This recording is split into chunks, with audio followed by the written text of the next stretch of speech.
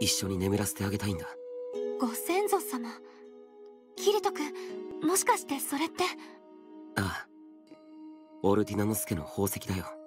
燃え尽きたと思ったけどこの一つだけが残っていたんだ。そうだったの。俺は結局メディナを救えなかった。だからせめてリコリスの花畑のそばにこの剣と宝石を一緒に埋めて弔ってあげたいんだありがとう。私を解放してくれて。その声。メディナ。メディナなのか。いいえ。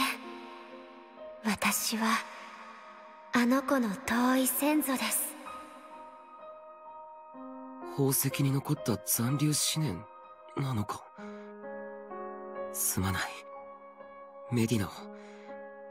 あなたの大切な子孫を俺は守れなかった。友達だったのに。俺は。もう自分を責めないで。あなたは私たちのために戦ってくれた。あなたにお願いがあるの。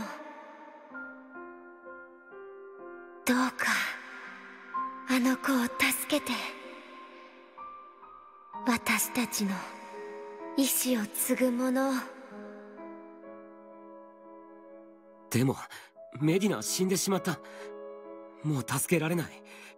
彼女の肉体は死したかもしれない。でも彼女の思いはその剣に残っている。彼女の魂も。魂が。ええ。そして器ならばあるわ。どうかお願い。私たちの願いを叶えて。白き牢獄に眠る。私を見つけて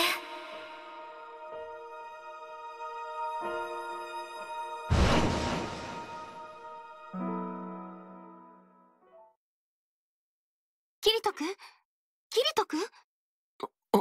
アスノどうしたの？ずっとその宝石を見つめていたわよ。宝石から聞こえたんだ。メディナのご先祖様の声が。まさか。それって首飾りに残った残留思念みたいなこと？確かアドミニストレーターは実験に失敗するたびオルティナノスケの人々を宝石に変えたと言っていた。この宝石には魂が入っているんだろう。もしかしてこの中にあるフラクトライトに残った思念かもしれない。いやこの宝石に残るのは戦力補充モジュール。そしてそのモジュールに結びついたある記憶情報だけじゃ。それじゃあこの宝石の中にフラクトライトはないのか？あの女が宝石をリソースとして作った剣を見た時わしはフラクトライトの反応を感じた。そこには確かに計4つのフラクトライトが含まれておったがこの個体には全く魂の反応がない。4つ。でもアドミンストレーターがあの時剣に変えたのは5つの宝石だ。つまり宝石に変えられた5人のうち1人だけ。ちなみにそのある記憶情報とは？戦力補充モジュールを稼働させるのに必要なオルティナノスケとしての記憶。そして一族に対する思いじゃ。フラクトライトではなくオルティナノスケへの思いが器ならばあるわ。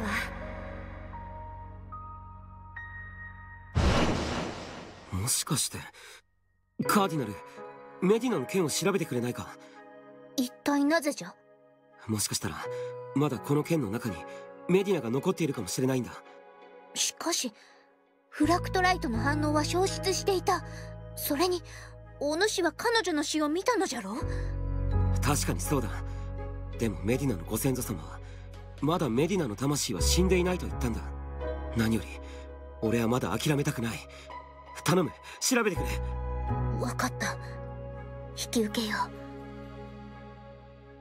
う。なんとすまぬ。メディノのフラクトライトが消失したと言ったがそれは誤りじゃった。正確にはほとんど崩壊してしまい全ての記憶を失ったフラクトライトの反応を察知できなかったのじゃ。どういう意味だ？メディナのフラクトライトは未だ彼女がその身を返還した剣の中に存在している。じゃが状態は最悪じゃ。ほとんど全ての記憶が破損し崩壊している。もはや通常のフラクトライトとしての働き。魂としての機能は果たせぬじゃろう。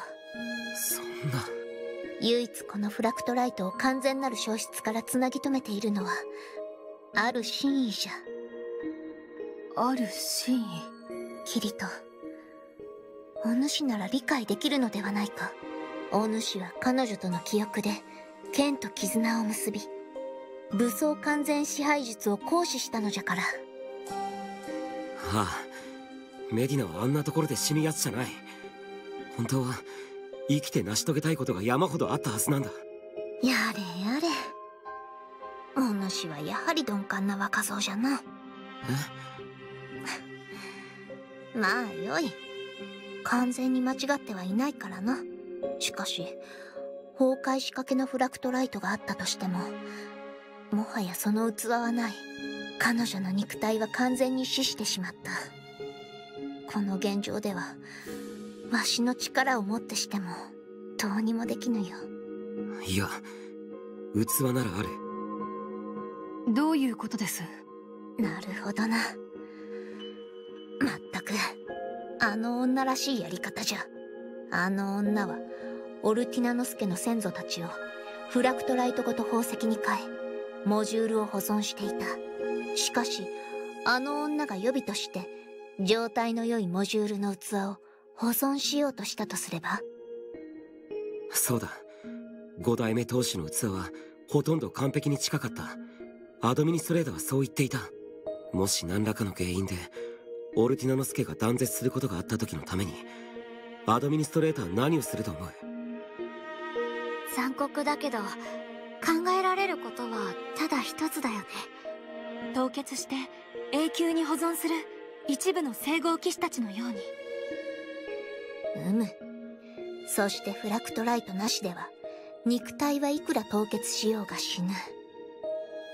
つまり五代目当主殿のモジュールだけは肉体と魂を別にして宝石にされたというわけですか？うむその解釈だと納得がいく。あの宝石だけは他のものと違い魂が含まれていなかった。故に他の宝石と姿が違っていたのですねしかしなんとむごい。でもそれがメディナを救う鍵になるかもしれないんだ。キリト君それってまさかご先祖様の魂と体にメディナさんのフラクトライトを上書きするの？器があるということはそれ以外にないじゃろ。崩壊したフラクトライトをもう一度蘇らせるには状態のいいフラクトライトと体が必要じゃ。いわばコピー。魂の複製という行為になるが。本来なら決して許されることじゃないよな。カーディナルもそう思ってるだろまあ人事ではないからな。あの女が記憶容量確保のためにある少女にしたことと同じじゃ。俺もそう思ってる。だからたとえ器があったとしても本当にそれをすべきかどうなのか。ごちゃごちゃと悩んでる暇はないぞ。メディナのフラクトライトはもう一刻の猶予も許さぬ状態じゃ。カーディナル？お主はメディナの先祖の声を聞いたのじゃろその声は何と言っていた？確かに哀れなリセリスという少女はあの儀式で全てを奪われた。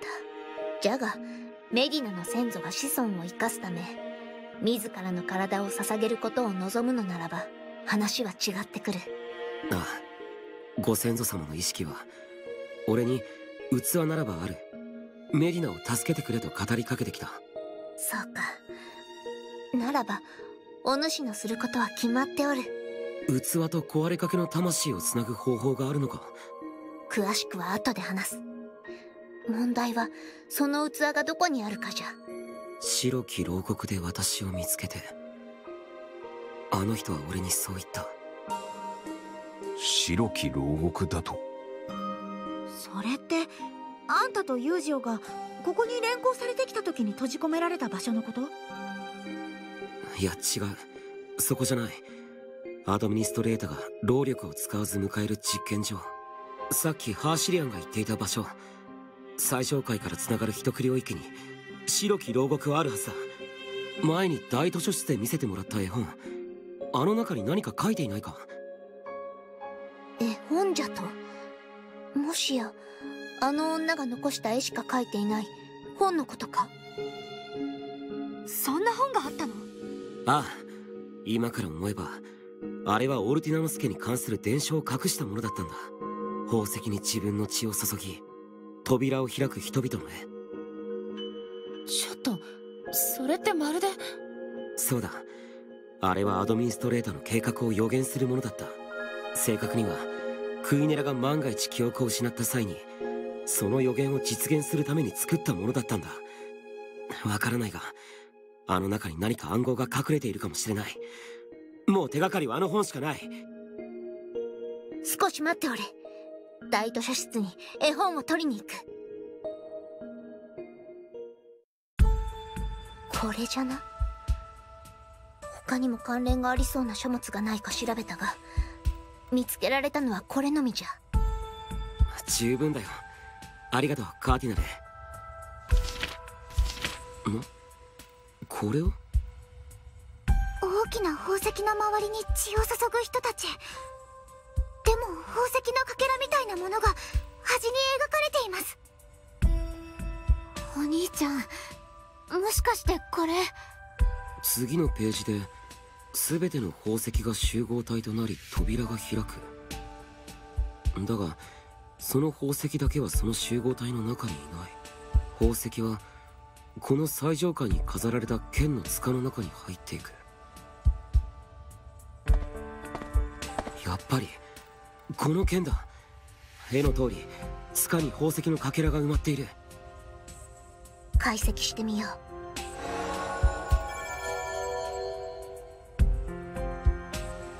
ふむどうだ？これは一区領域。つまり隠しストレージへの入り口じゃ。そしてその先のデータが圧縮された上でパスコードがかけられておる。パスコード？それがわからなければ入れないんじゃ。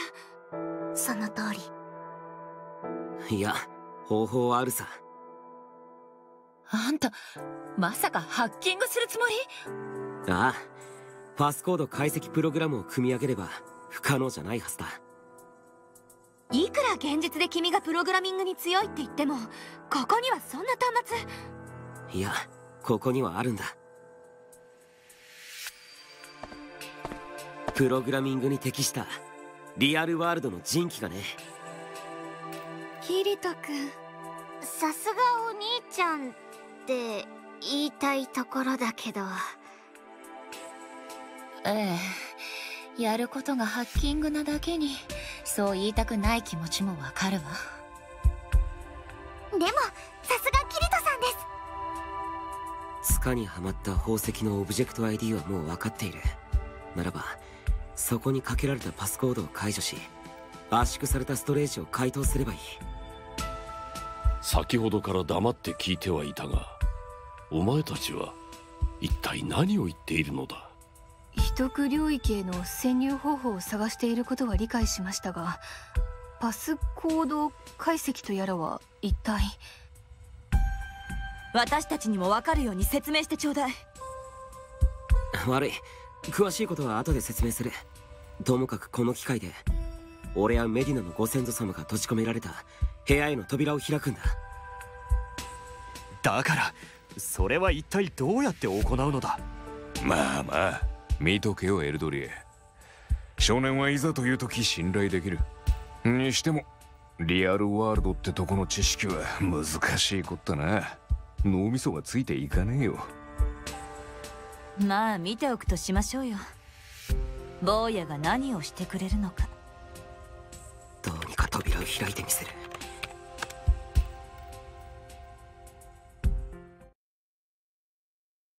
分かった。5分もかかってないってどういうこと？みんなパスコードはこまめに変えた方がいいぜ。キリト君この技術を絶対に悪用しちゃダメよ。お兄ちゃんまさかこれまでにそのプログラム使ってないよね？断じて悪用してない。前に組んだアプリのパスコードが自分で分からなくなった時に使っただけだ。はあよかった。ほっとしたねリーバちゃん。そんなに安心されると複雑な気分だ。まあ心配にもなるわよね。お主大したものじゃのう。わしですらそのような修行は行えんわいいやカーディナルだって案外できるかもしれないぜ。よしそれじゃあ入力するとしようか。とはいえ入力版がないの？この世界では音声でシステムを呼び出し命令を行う。パスコードはリリースコードから始まる。解除術式の後に口に出す他はない。うん分かった。このパスコードって文字を申請語として続けて読んでもいいのか？うむ。意味が通っているものならばな。しかし意味のわからぬ言葉の羅列にせぬとはあの女の性格らしいな。まあ自分が忘却した時に思い出しやすいものがいいとも思ったんだろう。リリースコード。クランテスターファイナルディシジョン。この申請語は一体何を意味しているのです？クランは血族テスターは実験台。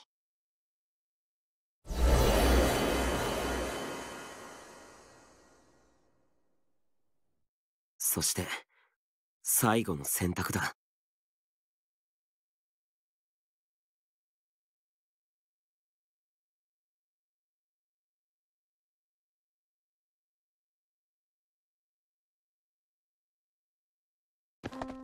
あれは？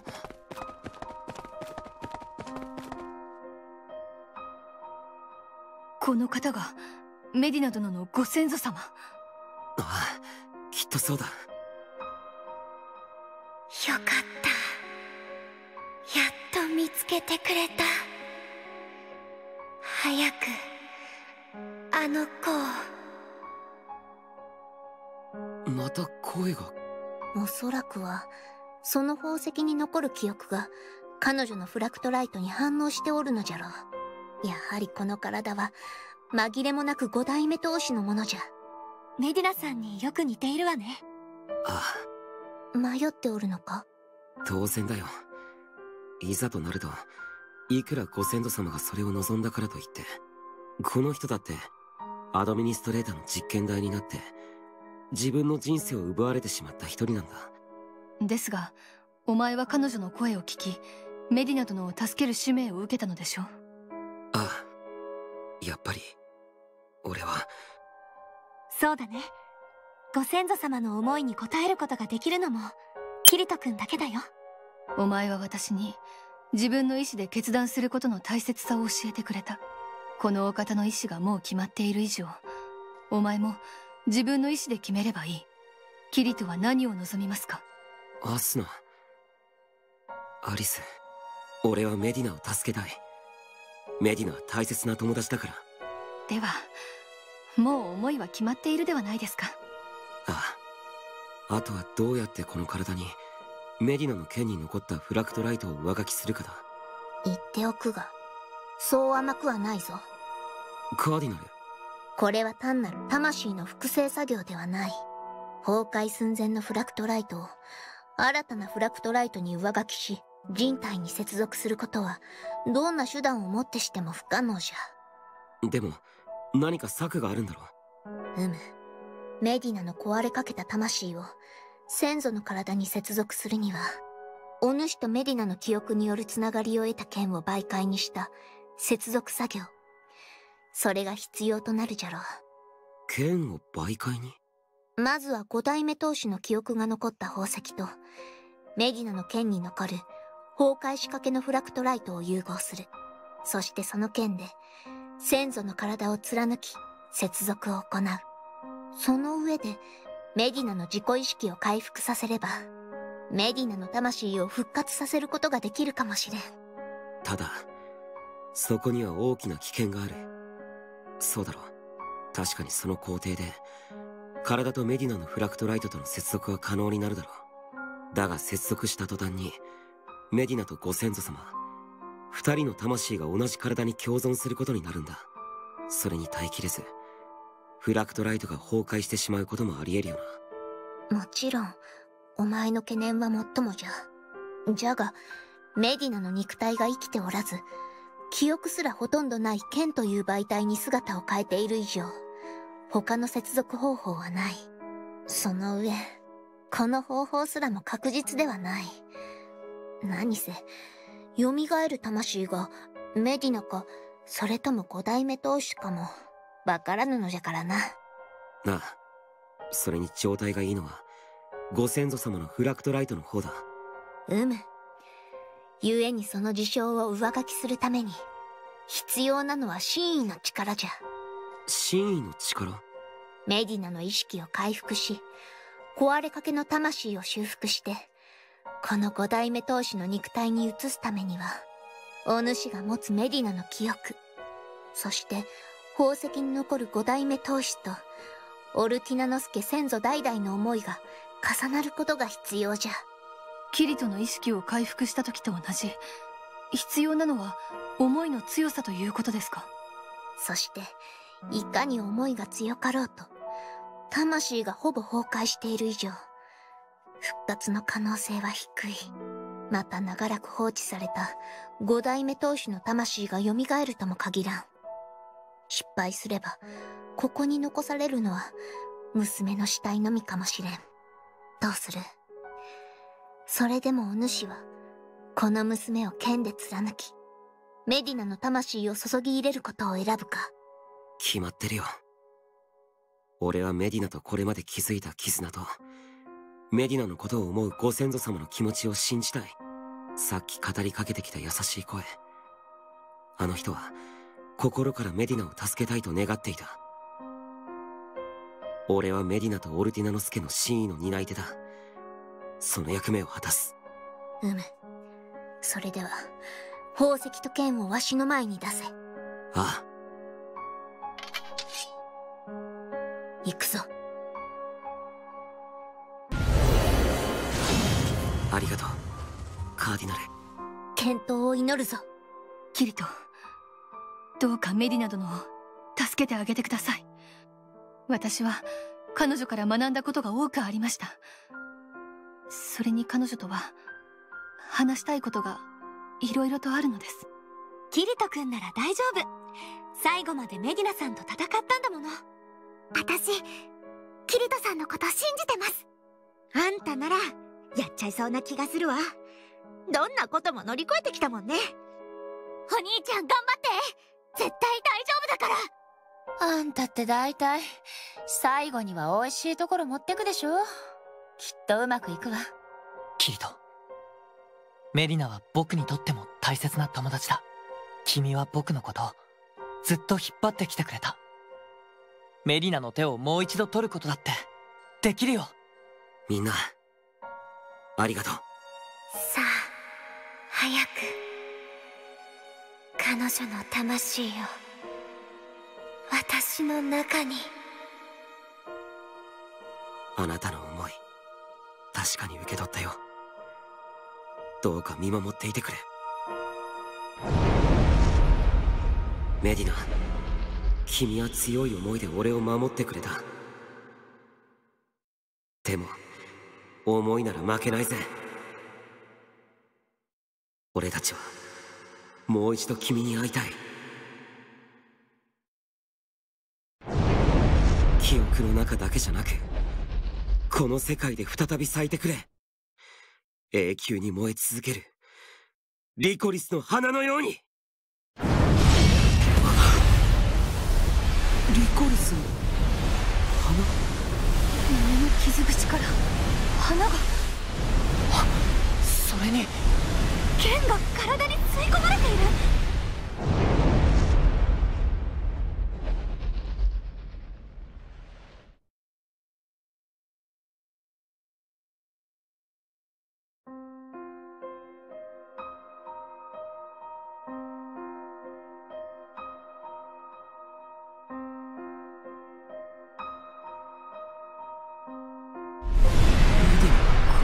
姿形。紛れもなくメディナ殿です。うむじゃがまだ確証はない。どういうことだ？姿形は確かにメディナじゃ。しかしそれはキリトや先祖の真意が作用したがゆえの幻影かもしれん。幻影？つまりは五代目当主殿の魂が蘇った可能性もある。そういうことですか？うむあの崩壊の仕様では再びフラクトライトが息を吹き返すことは難しいからな。すまぬ。厳しいことは言いたくないが可能性について話しておく必要があったのじゃ。分かってるよカーディナル。ともかく目覚めてもらわなければわからないな。キリト メディナ。メディナ！よかった。意識が戻ったんだ。さんあなた誰？あなた。ここはどこ？私は一体。俺のこと覚えてないのか？フラクトライトは記憶領域まで激しい破損状態にあった。やはり記憶の回復は不可能であったか。そんななおさら蘇ったのがメディナなのか？ご先祖様なのかわからない。でもどちらだったとしても俺はまた大切な友達として思い出を作っていくだけだ。おい。え？3秒以内にその手を離せ。貴様。会ったばかりの人間に慣れ慣れしく触るなどどういうつもりだ？32ああ間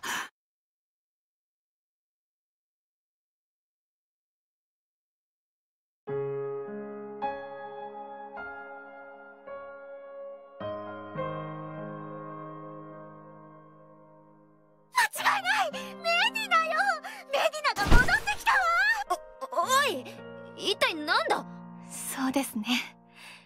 この工場はメディナ殿以外にありえません。よかった。メディナさん本当に戻ってきてくれたのね。お前たちは一体誰なんだ？メディナとは私のことか？それ以前に私はなぜここに？怖かった。キリトさんの剣が入っていくとき私ドキドキして心臓が止まるかと。メディナさん！無事でよかったよ。メリナ大丈夫？痛いところはない？どこも痛くなんかない。なぜそんなことを聞く？だってさっきからずっと。なんで涙が？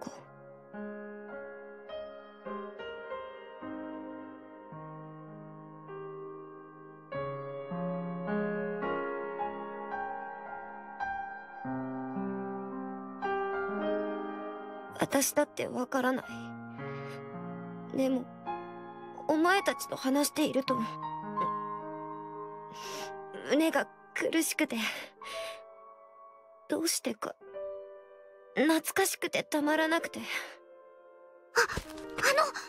私が飼ってる猫の名前わかります？前にお話ししたんですけど。わからない。前たちのことなんて知らない知らないはずなのにどうして涙が止まらないんだ？ムカつく。本当にメディナみたいね。そうだね。記憶はなくても。確かにここにいるのはメディナだ。キリトほらあなたも何か言いなさい。当事者のくせにさっきから一言も話していないではないですか。そうだよキリト君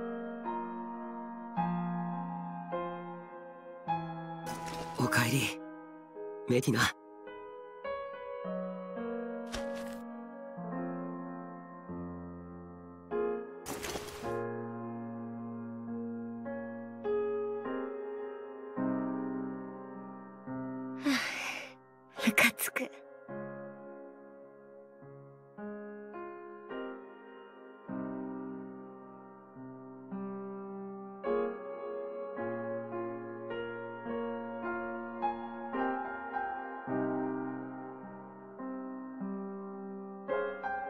俺はメディナに短い時間で彼女に話せる限りの事実を話した。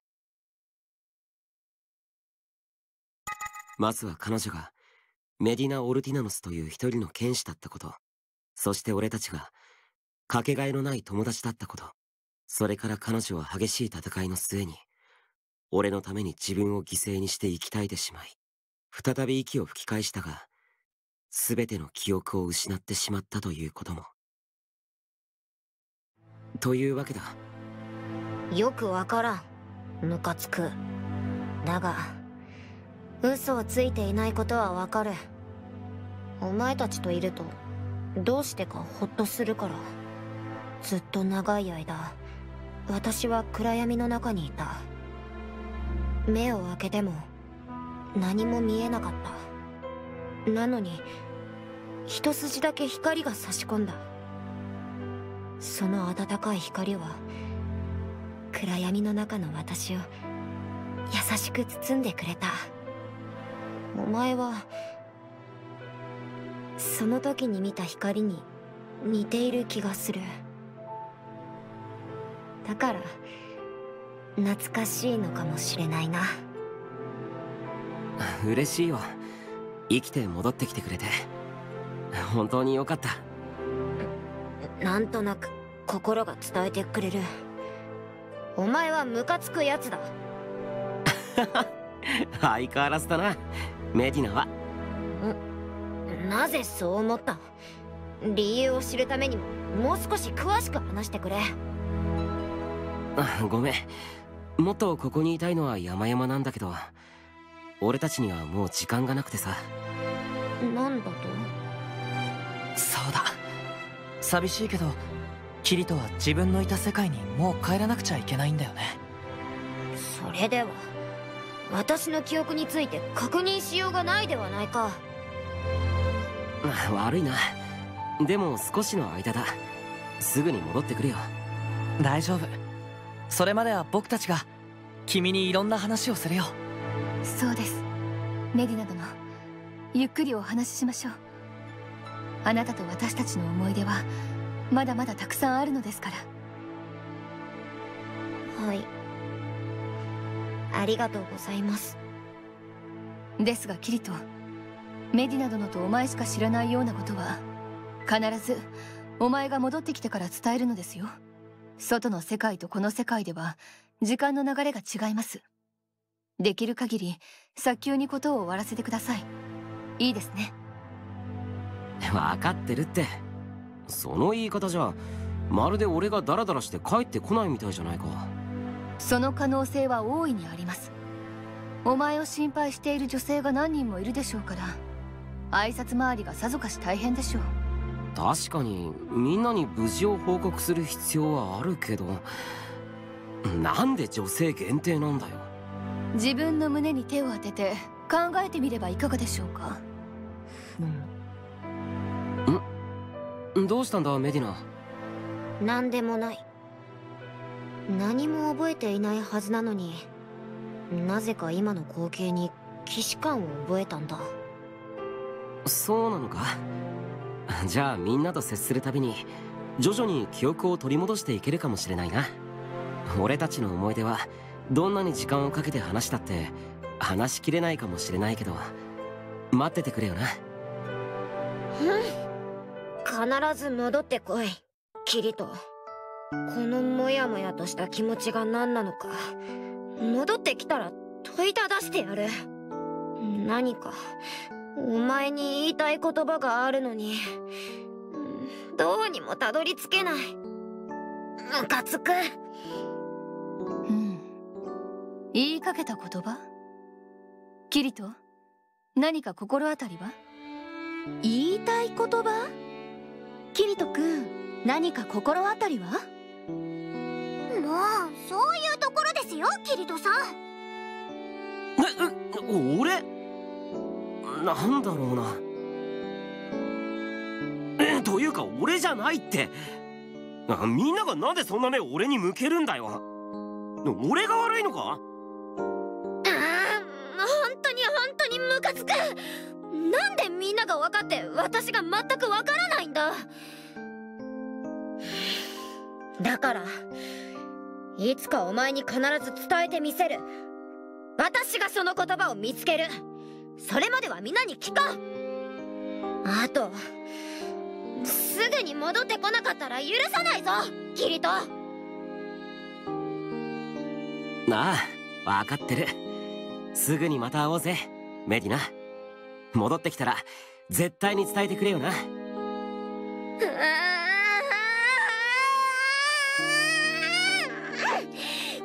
様は今日初めて出会ったはずなのに。やっぱりムカつく。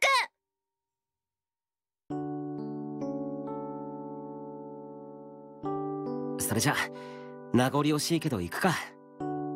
まったく気をつけて行ってくるのですよ。お前は本当に危なっかしくて心配極まりませんが。大丈夫だぜアリス。絶対に戻ってくるから。その言葉信じていますよ。そして再び会える時を楽しみにしています。それから次会った時は今度こそ。いいえ今度こそお前を立ち会いで打ちのめします。なので首を洗って待っていなさい。でけえ最後にそんな不安を感じることを言われても。ともかく早く帰ってきなさい。いいですね。ああまたな。俺アリスに会えてよかったよ。もうまったくお前は。それじゃシステムコンソールで外部と連絡を取ろう。必ず救ってみせる。アリスユージをそしてこの世界で生きる多くの命。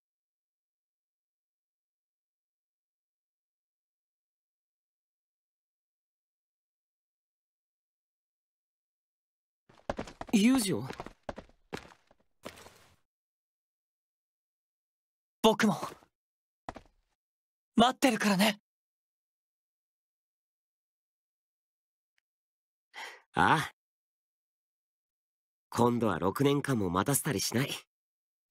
約束するよ。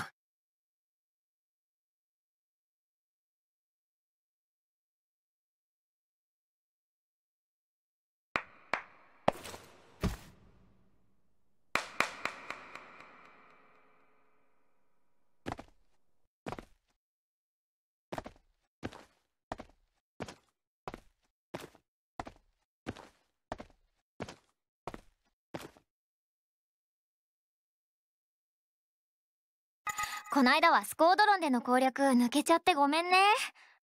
ううん。特に用事なかったんだけどさ。さっきすごく変な夢見たんだ。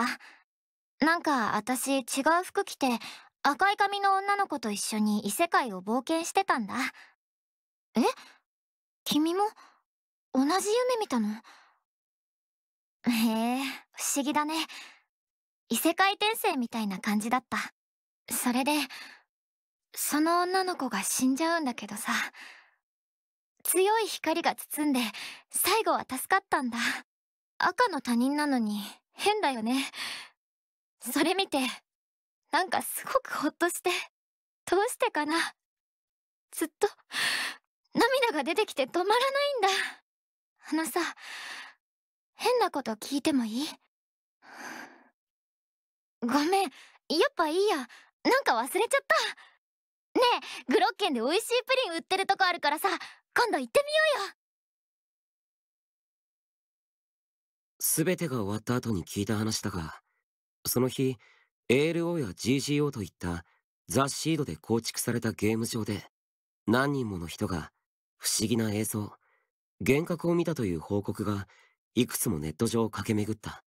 その映像は見たこともない。だが見た人にはなぜか見覚えのある服装をした人たちと自分が楽しそうに生活しているシーンだったという。